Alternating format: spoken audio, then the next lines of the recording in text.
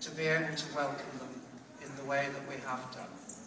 I'd like to add my thanks to the Archbishop. I've never sat on the front row with so many bishops. Um, I'm feeling very humbled by the occasion.